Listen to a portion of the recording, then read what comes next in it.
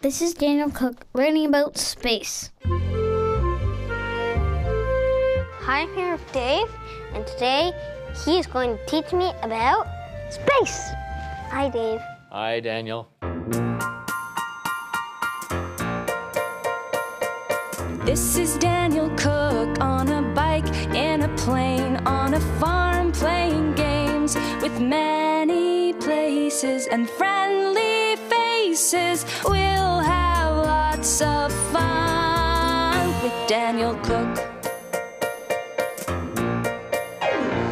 Have you ever been in space? Well, I have been lucky enough to fly in space. I was in space for 16 days in 1998, and in two years, I'm going to be flying in space again. Ooh. Can I come with you? That would be a pretty neat mission. I don't know. We'll have to ask the Canadian Space Agency, see what they say. What is it like flying on a space shuttle? You know, flying on the shuttle is pretty amazing. We travel 25 times the speed of sound. That's 10 kilometers every second. If I snap my fingers, shuttles travel 10 kilometers. We go around the world once every 90 minutes, every hour and a half. We've gone all the way around the world.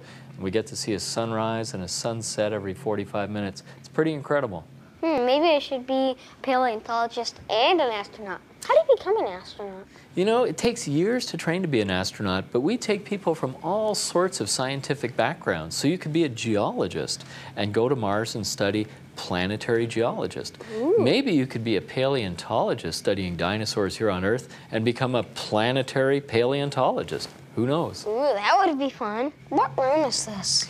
This is mission control, and this is where all the controllers talk to the astronauts on the Mars transfer vehicle. We're going to be getting into the Mars transfer vehicle on our way to Mars. How do we get to the Mars transfer vehicle?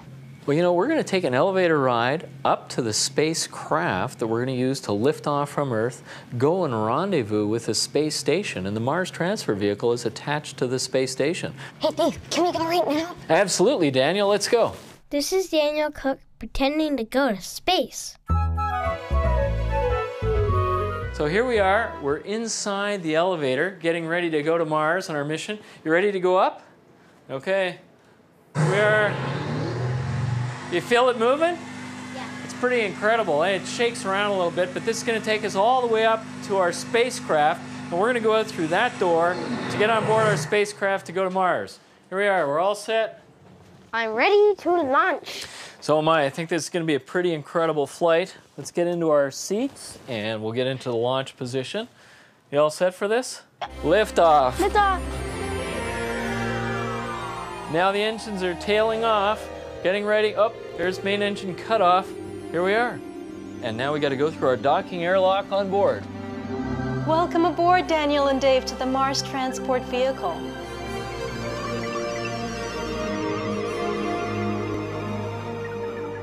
This is my friend Teresa, and Hello. Teresa's going to be Hi, taking Daniel. us to undock and take us on our way to Mars. Ooh, how far is Mars from Earth? It's about 230 million kilometers away. Yes. It's, How long would it take for us to travel to Mars?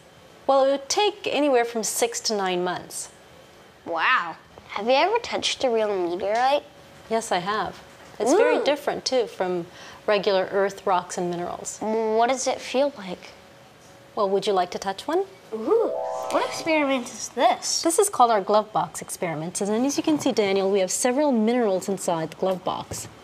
Now, understanding uh, a lot about rocks and minerals here on Earth will help us understand about the rocks and minerals on Mars. Why do we have to wear gloves? Well, because we don't want to contaminate any of the samples. Now, several of these are minerals, but one in particular is special. It's a meteorite. And I think this one's a meteor. which one? Black one. You're absolutely right. Let's look at it. Do you feel anything different about the meteorite compared to maybe one of the other samples? It's quite lumpy. Lumpy? How about the weight of it?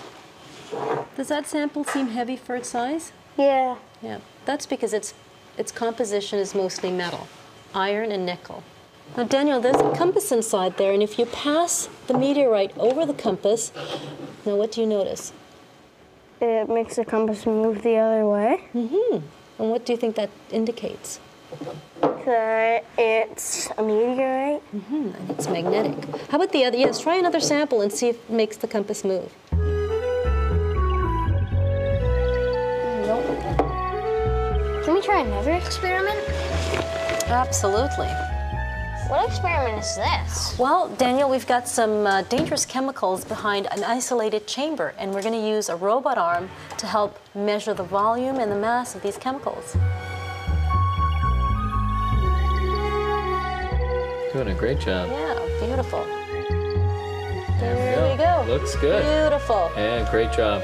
Thank you so much, Dave and Teresa, for teaching me about space. It was so cool. It was our It's our pleasure. pleasure.